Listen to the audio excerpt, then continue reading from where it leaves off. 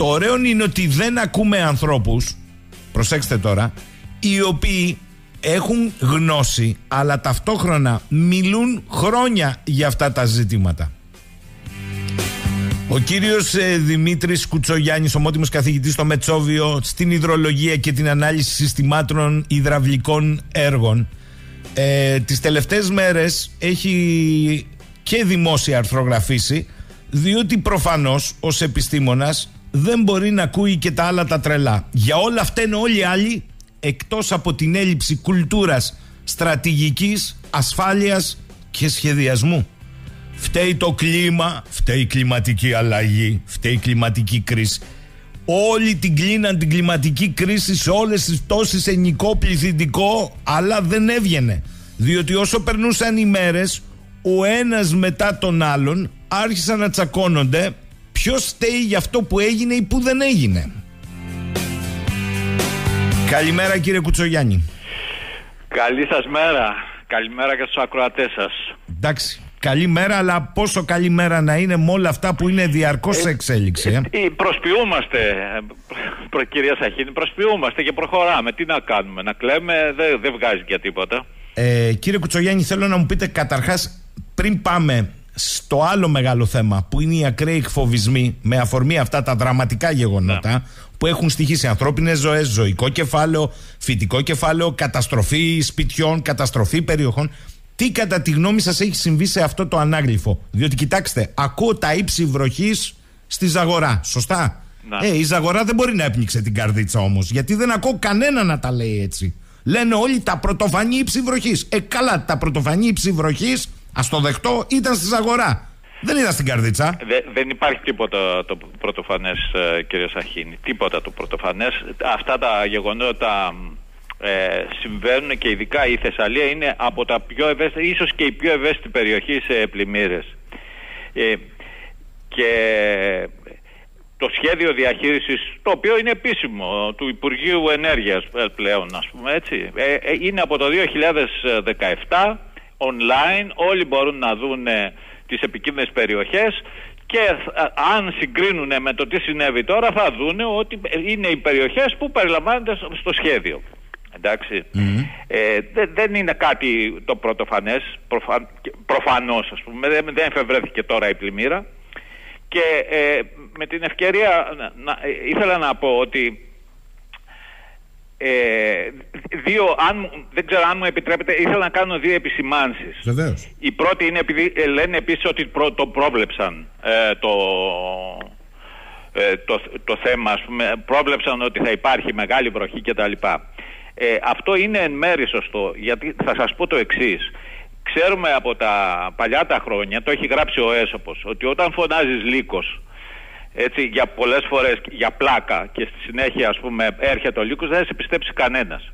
Εδώ εκφοβίζουν τον κόσμο καθημερινά, σε καθημερινή βάση. Εγώ προσωπικά όταν βλέπω μετεωρολογικές προγνώσεις δεν τις πιστεύω πια γιατί ξέρω ότι ε, κάνουν ας πούμε συνεχώς πρόβλεψη ότι έρχονται τα χειρότερα. Συνεχώς. Βγαίνουν κάθε μέρα στην τηλεόραση και εκφοβίζουν τον πληθυσμό. Επομένως, ε, εδώ ας πούμε δεν μπορούμε να λέμε ότι πετύχαμε την πρόγνωση. Όταν κάθε μέρα προβλέπουμε, θυμάμαι χαρακτηριστικά το Φλεβάρι του 2019 που είχαν προβλέψει ότι θα γίνει ιστορικός χιονιάς. προσέξτε, ιστορικός χιονιάς ο οποίος είναι στο μέλλον, όχι στην ιστορία, έτσι, που δεν έγινε βέβαια. Εντάξει, έχω, ε, ένας φίλος μου λέει ε, ε, το 112 με έχει σώσει, λέει γιατί μου θυμίζει ότι έχω ρούχα απλωμένα. Δηλαδή στέλνει μια, μια ψυχάλα, στέλνει το 112. Επομένως, αυτό, ε, δεν είμαστε σοβαροί σε αυτό το θέμα, ας πούμε.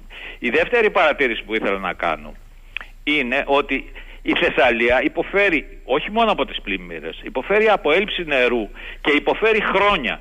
Και τα δάκρυα που χύνονται για τη Θεσσαλία είναι κροκοδίλια, διότι όλοι έχουν αντιταχθεί σε, σε ένα έργο που θα έδινε κάποια ανάσα στους Θεσσαλούς αγρότες το οποίο έχει μελετηθεί από τα δεκαετία του 80 και του 90. Και αυτό είναι κάποιο μεταφορά νερού από τη λεκάνη του Αχελόου. Ε, 4, 4 δισεκατομμύρια κυβικά δίνει αυτή η λεκάνη κάθε χρόνο. Και μιλάμε τώρα ότι θα δίνανε στους ασφαλούς αγρότες από τα 4 δισεκατομμύρια 200, 300, ξέρω 500 εκατομμύρια. για να έχουν νερό να ποτίζουν, για να, έχουμε, για να έχει η εθνική μας οικονομία αγροτική παραγωγή. Λοιπόν, όλοι, πολιτικοί, ε, οικολόγοι, δικαστές, το ανώτατό μας δικαστήριο, Συμβούλιο Επικρατείας, έχει, αντιμάχεται αυτό το έργο. Δεν θέλει να έχουμε ε, αυτοδύναμη αγροτική παραγωγή. Λοιπόν, και τώρα ας πούμε κλαίμε για τους ε, Θεσσαλούς. Όχι. Όσοι κλαίνε αντί να μαζεύουν, ξέρω εγώ, να, να δώσουν ήδη πρώτης ανάγκης, να δούνε το, το δάσος και να πούνε ότι οι αγρότες θέλουμε σαν χώρα να βοηθήσουμε αυτούς τους αγρότες και για να τους βοηθήσουμε θέλουμε να τους δώσουμε νερό. Και βέβαια είπε και το θέμα των πλημμυρών. Ε, συγγνώμη που... Όχι, όχι, ε, παρακαλώ, παρακαλώ. Ναι. Ε, για το θέμα των πλημμυρών, αν θέλουμε επίσης να βοηθήσουμε τους αγρότες, και τους κατοίκους της Θεσσαλίας. Η τεχνολογία δίνει τις λύσεις, δεν τη, δεν τη δίνει η επίκληση του Αγίου, της Αγίας Κλιματικής Αλλαγής. Έτσι. Λοιπόν, έχουν από τη δεκαετία του 1960 μελετηθεί φράγματα περιμετρικά της Θεσσαλίας. Μόνο τα φράγματα μπορούν να απομειώσουν τον κίνδυνο. Όμως ακούνε φράγματα και βγάζουν όλοι καντήλες. Δεν θέλει η οικολογική μας συνείδηση να υπάρχουν φράγματα. Ε, πώς θα κάνουμε ας πούμε; Τότε θα, θα δεχτούμε τις πλημμύρες, τις οποίες δεν τις προκαλεί καμιά κλιματική αλλαγή. Καταρχάς, κλιματική αλλαγή δεν είναι κάτι που ε, εμφανίστηκε τώρα, ας πούμε, επειδή δημιουργήθηκε, έκανε ο, ο Πρωθυπουργός μας Υπουργείο πολιτική, ε, συγγνώμη, κλιματικής κρίσης. Είναι για 4,5 δισεκατομμύρια χρόνια υπάρχει κλιματική αλλαγή. Συνεχώς αλλάζει το κλίμα.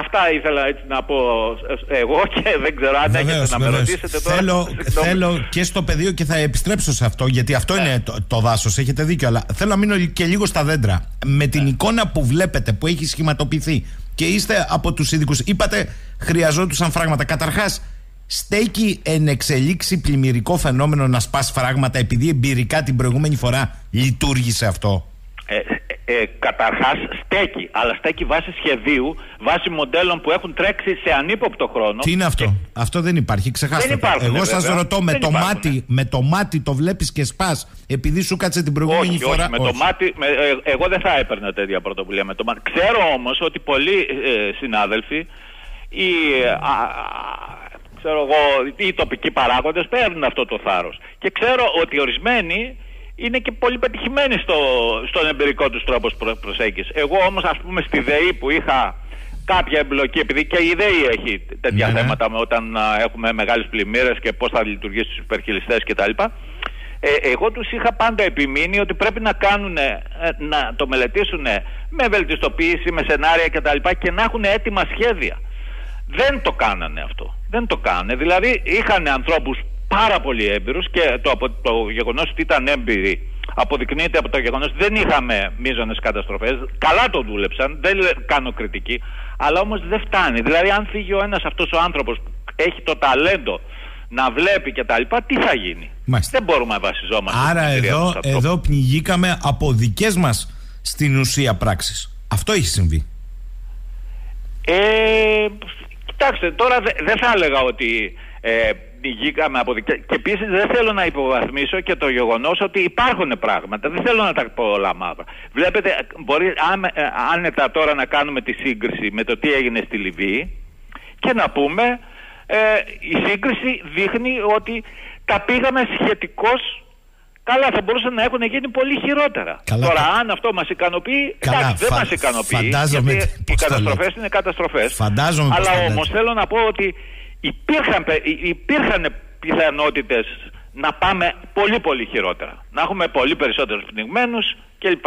Εντάξει, και ένα να έχεις είναι θέμα. Για εγώ δεν δε βάζω σε συγκρίσεις. Ένα όχι, και 20 κάνουμε με την ανθρώπινη ζωή, όχι προς Θεού. Αλλά εντάξει, όταν μιλάμε ε, μακροσκοπικά και το, για το δάσος, μπαίνει και η στατιστική Κύριε Κουτσογιάννη. Και η στατιστική μας δείχνει ακριβώς ότι μπορούσε να είναι και χειρότερα ακόμα. Α, μάλιστα. Για πείτε μου όμως, ε, όλα αυτά που θα έπρεπε να γίνουν, γιατί εδώ βγαίνει πια ότι από τον Ιαννό και μετά λέει δόθηκαν κονδύλια για αντιπλημμυρική θωράκιση, ιδίως στις περιοχές Καρδίτσας Τρικάλων. Και τελικά αποδεικνύεται ότι αυτά τα κονδύλια δεν ήταν για τα αντιπλημμυρικά, ήταν για έργα οδοποιία, ήταν για γέφυρες που ξαναπέσανε και τα λοιπά και, τα λοιπά, και ελάχιστα δόθηκαν στα αντιπλημμυρικά. Εσείς μας είπατε ότι το θέμα αντιμετωπίζεται με φράγματα. Αυτά δεν υπάρχουν. Δεν υπάρχουν, δεν τα, δεν τα συζητάνε καν τα φράγματα. Δεν τα συζητάνε. Και δεν τα συζητάει, δεν είναι να δεν τα συζητάνε οι πολιτικοί. Η κοινωνία μας δεν τα συζητάει, ας πούμε. Σωστό. Βλέπετε στο φράγμα της Μεσοχώρας, το οποίο συναρτάται, δεν είναι βέβαια στη Θεσσαλία το φράγμα της Μεσοχώρας, είναι στον Αχελό, αλλά συναρτάται γιατί το φράγμα της Μεσοχώρας ήταν, ήταν ένα από τα τέσσερα φράγματα, όπου τα δύο θα ήταν στον Αχελό και τα άλλα δύο στη Θεσσαλία για να μπορέσουν να δίνουν νερό και ενέργεια και νερό και ενέργεια έτσι, ειδικά της Μεσοχώρας είναι μόνο για ενέργεια δεν δίνει νερό ε, προς, ε, στους αγρότες της Θεσσαλίας. Δύο από αυτά τα φράγματα αν υπήρχαν η πύλη και το μουζάκι που είναι στη λεκάνη του Ποινιού θα είχαμε απομείωση της ε, πλημμύρας δεν τα θέλουν ναι, προφανώς. Το εργοστάσιο δεν, λειτουργεί καν. Δεν τα θέλει ο, μην λέμε δεν τα θέλει ο Πρωθυπουργός, ούτε και η αντιπολίτευση. Η αντιπολίτευση λέει μάλιστα ε, έχει πει ε, να γκρεμίσουμε το φράγμα της Μεσοχώρας. Μάλιστα. Το οποίο θα μας έδινε ε, σε μια εποχή ε, κρίσης ενεργειακής θα μας έδινε κάποια ανάσα επίσης ενεργειακής. Μα κανεί... Αυτό το φράγμα είναι από το είπε... 2000 έτοιμο. Κύριε Κουτσογιάννη. Γιατί να πατήσει κανείς ένα κουμπί, να, να το βάλει μπροστά, να λειτουργήσουν οι τουρμπίνες του κτλ. Το έχουμε άδειο. Μάλιστα. Παγκόσμια πρωτοτυπία. Μα, δεν υπάρχει αυτό το πράγμα. Μα είπε κανείς ότι εξαιρείται κανείς από το πολιτικό σύστημα. Όλοι το ίδιο αφήγημα λένε. Α, πολύ σωστά, ναι. Όχι. Πολύ, πο, πολύ, κύριε Σαχίνη, πολλοί λένε ότι φταίνει η πολιτική, αλλά και όχι εγώ. Δεν είναι έτσι όμως. Δεν είναι έτσι. Πείτε μου σας παρακαλώ. Το Συμβουλίο Επικρατείας δεν είναι... Ε, δεν αποτελείται από πολιτικούς, αποτελείται από δικαστές. Να σας πω κάτι, στην Ινδία, επειδή είχαν ένα πολύ μεγάλο σχέδιο ανάπτυξης των υδάτων, το αντίστοιχο Συμβούλιο Επικρατείας καταδίκασε την κυβέρνηση επειδή δεν προχωρούσε τα έργα. Και εδώ την καταδικάζει επειδή τα προχωράει. Βλέπετε λοιπόν μια κοινωνία που θέλει την προκοπή, η Ινδική, και γι' αυτό πάει και τόσο καλά όσο πάει, και μια κοινωνία οπισθοδρομική σε απόλυτη παρακμή η ελληνική που δεν θέλει να γίνει τίποτα. Πείτε μου σας παρακαλώ πολύ με τις υδρογεολογικές ιδιομορφίες που έχει η Θεσσαλία μας. Ναι. Αυτή τη στιγμή, γιατί από χθες έχω άνθρωπο Πέριξ της Κάρλας, ο οποίος λέει: Παιδιά, έρχεται δεύτερο ημίχρονο πλημμυρών. Ξυπνάτε. Κανείς δεν τον ακούσει. Σήμερα το πρωί βλέπω όλους. Α, η Κάρλα. Και ο άνθρωπος έχει κάνει επιτόπια έρευνα. Λέει ότι κάπου έχει φράξει το πράγμα. Ε, η στεγανοποίηση από τη λάσπη και η απορροφητικότητα έχει μειωθεί. Είναι 10% μας είπαν εχθέ. Κατά συνέπεια θα πλημμυρίσει. Όλα αυτά δεν θα μπορούσαν να είναι προβλέψιμα; Ναι, φυσικά. Μάλιστα. Φυσικά. Μάλιστα. Φυσικά. Για πάμε τώρα στο μεγάλο. Ε, ναι, ναι. Εντάξει, όταν μιλάμε για πρόβλημα, δεν μιλάμε για απόλυτη πρόβλεψη, ας πούμε. Μα εδώ δεν γίνεται τίποτα, κύριε Κουτσογιάννη. Θα είναι 38 εκατοστά και εκεί θα είναι 4 ε, μέτρα και 22 εντάξει. εκατοστά. Σύμφωνοι. Ε... Στοιχειώδης όμως κατάσταση. Εδώ έχει πλημμυρίσει, με συγχωρείτε, κρίσιμη βάση, η κρισιμότερη βάση ελικοπτέρων της χώρας. Τι λέμε ναι, τώρα; Ναι, ναι, ναι. Μάλιστα. Και κοιτιούνται όλοι μεταξύ τους. Αφήστε. Ναι. Θέλω κύριε Κουτσογέννη να πάω και στο μεγάλο κάδρο. Αυτό που υπενηχτήκατε αρχικά. Επειδή είπατε ότι μάλλον ζούμε σε μια εποχή εκφοβισμών. Ναι. Ε, θεωρείτε λοιπόν ότι με λάθος τρόπο γίνεται με αφορμή και αυτή την καταστροφή που είναι ανυπολόγιστη η συζήτηση. Ε, εννοείται. Ε, κοιτάξτε, ε, σας είπα στην αρχή την, το μύθο του Εσώπου με το ναι, ναι. βοσκό που φώναζε λύκος. Εννοείται ο εκφοβισμός. Δεν λύνει προβλήματα. Ο εκφοβισμός έχει άλλο σκοπό. Ο εκφοβισμός έχει σκοπό να ε, ε, καθαρά πολιτικό, καθαρά πολιτικό η, το όλο πλαίσιο της κλιματικής αλλαγής είναι πλαίσιο εκφοβισμού και είναι μια παγκόσμια ατζέντα δεν, χρειά, ε, δεν έχει ενδεχομένως νόημα να πούμε τώρα όλες τις συνιστώσεις αλλά έχω μελετήσει ιστορικά πώς έχει εξελιχθεί η παγκόσμια αυτή ατζέντα. Λοιπόν, και βέβαια απευθύνεται στο παγκόσμιο κοινό, μέρος το οποίο είναι εκλεκτό μέρος το οποίο είναι η, η Ελλάδα ας πούμε, διότι ε, η κυβέρνησή μας καφιέται ότι είναι η πρώτη παγκοσμίως που έκανε αυτό το breakthrough να φτιάξει Υπουργείο Κλιματικής Κρίσης κρίσης, ε, χρησιμοποιήσει αυτόν τον όρο. Λοιπόν, και επίσης η ελληνική κοινωνία, επειδή έχω μελετήσει τις στατιστικές και τα λοιπά, είναι η προ, ε, πρωταγωνιστή στο να θεωρεί την κλιματική κρίση ή την κλιματική αλλαγή ως νούμερο ένα κίνδυνο. Λοιπόν, 90% του πληθυσμού είναι πρώτοι οι Έλληνες και τελευταίοι οι Ισραηλινοί. Κάπου 30% το θεωρούν πρόβλημα. Έτσι. Για να καταλαβαίνουμε γιατί πράγμα μιλάμε, ας πούμε. Μάλιστα. Ε, θέλω να διαβάσω κάτι από ένα πρόσφατο άρθρο σας. Λέτε, θα πει κανείς, γιατί δεν αυξάνουμε τα όρια για να περιορίσουμε τη συχνότητα των καταστροφών; Η απάντηση είναι απλή. Τα αντιπλημμυρικά έργα είναι ακριβά, δεν υπάρχουν χρήματα. Άρα, οι πλημμύρες και οι καταστροφές που προκαλούν ήταν, είναι και θα είναι παρούσες. Έχει κάτι αλλάξει σήμερα σε σχέση με παλιότερα; Ναι, έχει αλλάξει.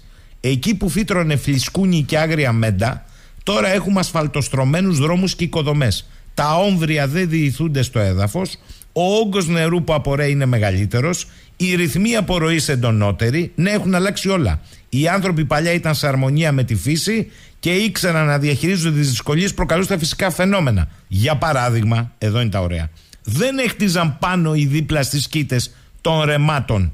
Στο ορεινό χωριό που μεγάλωσα, το να ρίχνει ένα μέτρο χιόνι δεν ήταν σπάνιο. Οι γονείς μας καθαρίζαν τα μονοπάτια για να πάμε στο σχολείο.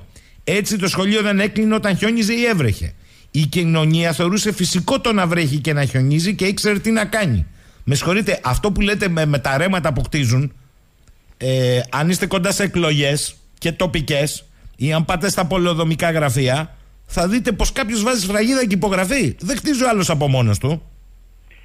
Ναι, ε, είναι πολύ πιθανό. Μέχρι και σχολεία ε, έχουμε στι κήτε ποταμών. Γίνεται. Ε, υπάρχουν βέβαια και μη νόμιμα, τα οποία θα νομιμοποιούνται ή, ναι, ναι, ναι, σωστά, ή τακτοποιούνται. Υπάρχουν και μη νόμιμα, ναι, εντάξει. Ε, είναι κανονικά αυτά. Θα έπρεπε να υπάρχει υπηρεσία που να τα. και όταν χτίζονται να τα κατεδαφίζει, έτσι δεν είναι; Δηλαδή κάτι που αποτελεί εμπόδιο στη ροή του ποταμού έπρεπε να κατεδαφίζεται. Άρα εδώ είναι τα ζητήματα των αλλαγών, όχι τα άλλα. Κοιτάξτε, κοιτάξτε είναι ε, από μόνο του είναι πολιτικά προβληματικό το θέμα των πλημμυρών. Ένα αντιπλημμυρικό έργο όταν χτιστεί και λειτουργήσει καλά δεν το ξέρει καν ο κόσμος ότι υπάρχει. Δουλεύει υπόγεια αυτό το έργο το αντιπλημμυρικό έτσι. Δηλαδή καταλαβαίνεις όταν έχεις αστοχία καταλαβαίνεις ότι υπάρχει ε, πλημέλεια σε αυτό το θέμα. Ενώ ας πούμε το έργο οδοπίας το βλέπεις είναι ορατό, ε, κάνει μπαμ, μπαίνεις με το αυτοκίνητό σου κτλ. Το χαίρεσαι. Το άλλο δεν το χαίρεσαι. Επομένως, θέλει μια πολύ όρημη κοινωνία για να, να, να καταλάβει τη σημασία αυτών των έργων, να καταλάβει τη σημασία ότι δεν, δεν χτίζουμε, δεν, δεν παραβιάζουμε τα ρέματα. Θέλει μια πολύ όρημη κοινωνία. Και δεν είμαστε βέβαια μια όρημη κοινωνία. Ήμασταν παλιά. Έτσι, ε, γι' αυτό ε, ανέφερα το παράδειγμα του χωριού μου. Mm. Ήμασταν παλιά. Οι άνθρωποι ήταν πάρα πολύ όριμοι και ξέρανε να, σε δύσκολες συνθήκες και οικονομικά ε, και από πλευράς ε, κλίματος γιατί ήταν ορεινό το χωριό στη, στα Τζουμέρκα ε, ξέρανε να αντιμετωπίσουν πράγματα. Σήμερα δεν. Ε, ο άλλος παίζει τάβλη ας πούμε και περιμένει το κράτος να έρθει να τον σώσει. Ε, λέει εδώ η φίλη μου Μαρία, καλημέρα στον εξαιρετικό κύριο Κουτσογιάννη. Ακούω, λέει, τις τελευταίες μέρες πολλούς επιστήμονες να λένε Γνωρίζαμε τουλάχιστον από το 2018 ότι θα πλημμυρίσει Θεσσαλία. Ε, αφού το γνώριζαν, γιατί δεν έγινε κάτι;